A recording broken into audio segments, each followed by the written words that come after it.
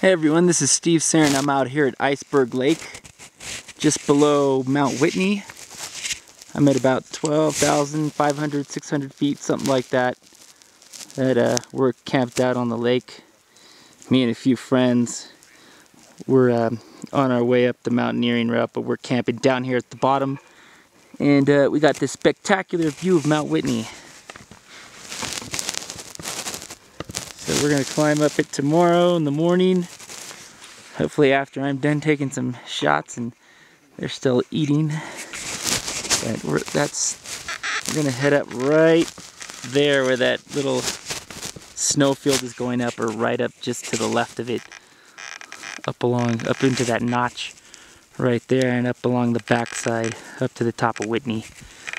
And then if we're lucky we'll have time um, to go up to Keeler Needle and maybe even Day Needle.